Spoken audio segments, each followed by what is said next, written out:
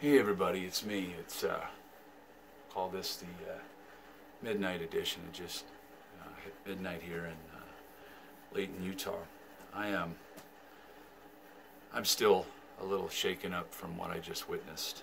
Um, I was driving home late from seeing some people tonight down in uh, downtown Salt Lake, and uh, I'm feeling pretty tired, you know, and uh, I'm anxious to get home. Hey, Matthias. And uh, I'm driving my truck, and I'm coming uh, northbound on I-15, which is our major north-south uh, highway uh, in the Wasatch Valley. I hear you. I hear you. And um, anyways, I'm you know I'm feeling pretty tired. You know, I'm watching my speed, and I'm I'm sober, and I'm coming home, and just anxious to get there and there was this uh, smaller two-door, I'm thinking like a an older Honda Civic or something, you know. And uh, he was ahead of me, like a, come on, come on, uh, a lane or two to my left, okay? So I'm like, it's like four or five lanes going northbound, and then there's a center median, and then four or five going, you know, southbound. I'm like in the middle lane, okay?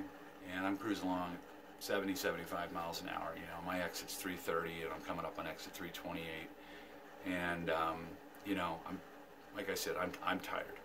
Well, this car that was ahead of me, and one or two lanes over to my left, like in the faster lanes, he starts coming across in front of me. No turn signal. Did you get the bug, Matthias? Okay, that explains the madness. Um, he comes across, you know, my vision here.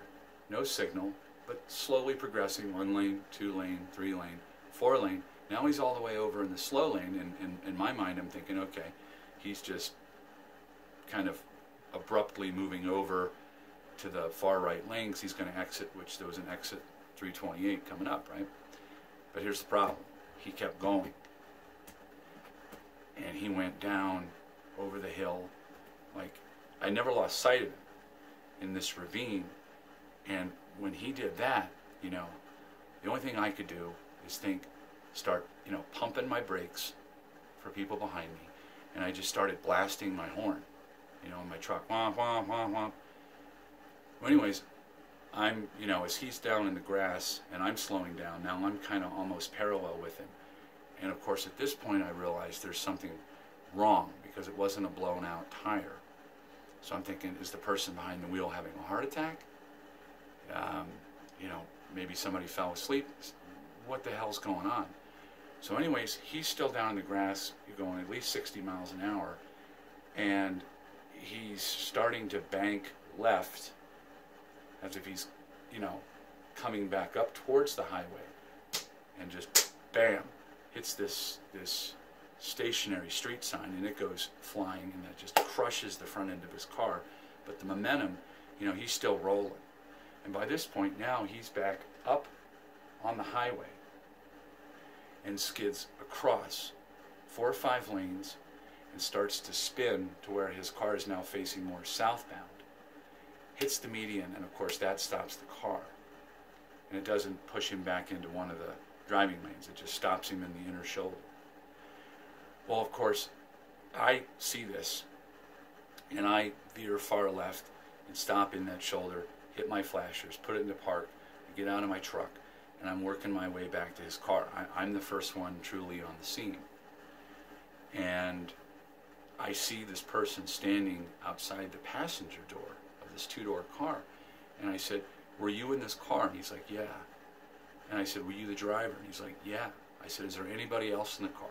He said, No and there was some smoke coming out from under the hood, like steam from, you know, probably when the radiator exploded when he hit that, that sign, but there was no fire.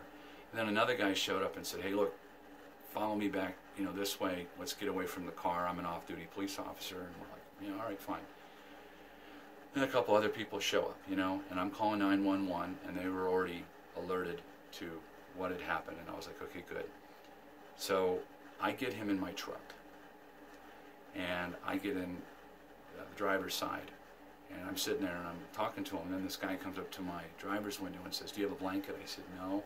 He says, "You know, it's probably best to keep him warm because he's in shock." And I said, "I'll crank up the heat." And he goes, "Okay." So I crank up the heat in my truck, Hey, Matthias. And um, I'm talking to this kid, right? And you know, I'm totally calm, but my insides are, you know, going a million miles an hour, and I can imagine what's what's uh, going on with him. And I'm looking at this kid, you know, and he looks like, you know, if I had a son, you know, he could be my son. You know, I'd say early 20s, kind of poofy, reddish blonde, curly hair over about mid ear, ball cap, shorts to the knee. You know, just a college age kid, you know. So I, um, you know, I looked at his eyes and they were really red. And I said, you know, what happened, man? He goes, I, I fell asleep, is what happened. I said, okay. I said, you know, are you high right now? And he's like, yeah. I said, I'm not a cop, man. I'm, I'm just, consider me a father figure, you know. And I said, what are you high on, man? And he's like, weed, you know. I was just coming from a friend's house, man. You know, fell asleep. I said, yeah. I said, when did you wake up? He said, you know, I kept hearing this horn. I said, I think that was me, dude. And then, and like, I woke up and I hit that sign, and then, you know, next thing you know, I'm flying back in the other direction. I'm like, yeah. So I said, do you have any weed on you? And he's like, no. I said, do you have any in the car? And he goes, yeah, I have some in the trunk. And I said, you know, how much? He goes, enough. Okay. I said, do, do you do you hurt right now? Do you, you know, you think you want an ambulance? He's like, no. And he, went, he wasn't bleeding anywhere. But, um, yeah, it, it, it uh, it's just a lot to take in, you know, because, you know, that's somebody's son, obviously, and, and, and, and for me, you know, I'm thinking, you know, if I had a son, you know, that could have been him or something, you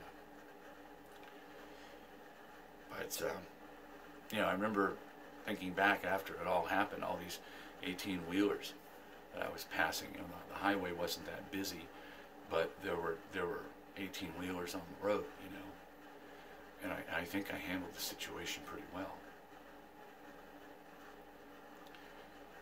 Um, it could have been a lot worse, you know. And I'm glad it wasn't. And I'm glad I was there.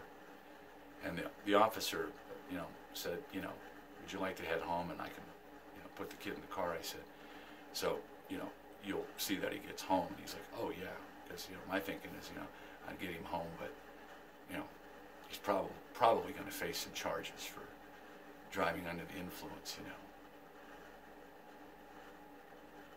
But that sure as hell beats, you know, going home in a hearse or something, man, or a coroner's wagon. And, um, you know, I'm, just glad I was there to help. But I'm tired, you know, it's, uh, it's been a day. And, uh, I hope this uh, recording finds all you guys at home and safe, you know. Right, Matthias? Right? Uh, you know, from Matthias and I hear that, uh, you know, we care about people. And uh, stay safe out there, people. You know, it's important. You know, and if you've had too much to drink or you you're pretty stoned on some good weed, sit tight, man. Men and women alike, you know, just don't risk anything. Right, Matthias? Okay. Matthias and I say goodnight. We love you guys.